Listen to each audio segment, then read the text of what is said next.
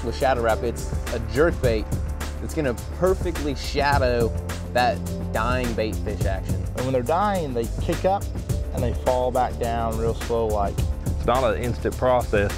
They just kind of slowly fade off towards the bottom. And this does a better job of imitating those natural movements than any other jerkbait I've ever seen. You know, that bait being flat-sided, it gives that it gives it a pronounced dart and a wobble to it that you can't get out of a round bait. It just doesn't happen. And there's a couple really special things about this bait, but they're all tied into one word, and that's movement. Uh, the way this bait moves in the water. It has the ultimate side-to-side -side fluttering action. The bait will go this way, it'll go that way, it'll stop, it'll hang right in that fish's face. It starts slowly fading down.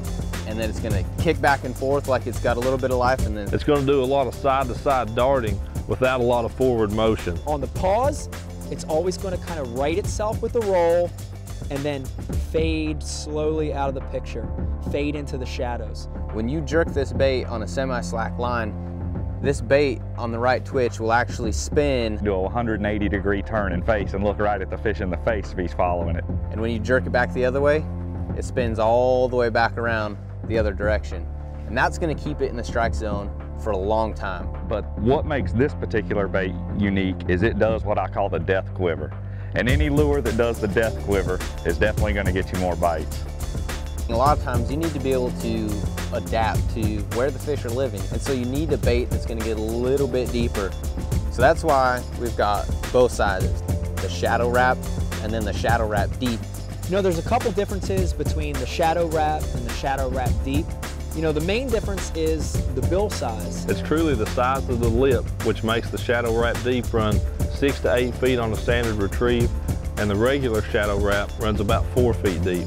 The Shadow Rap deep also will sit a little bit more nose down in the water. So it's gonna kick that bait down, which also allows it to dive just a little bit deeper. So they both have the same erratic unbelievable jerkbait action. It just gives you two different choices for the depth of fish you're holding in. I mean, from California to Canada to South Florida, I think this jerkbait will work just about all seasons of the year. And it's not only necessarily a, a bass bait. You know, you can catch big northern pike on it, um, big walleye. I mean, all predator species, you know, whether it's pike, muskie, walleye, smallmouth, largemouth. For sure a four-season bait and a big bass killer. You can fish this bait anywhere in the country, anywhere in the world, because it's perfectly shadowing that, that dying bait fish action. There are obviously times where it, it'll excel, but this is a tool that I can use to catch a bass any day of the week, anywhere we go. It's the Shadow Rap.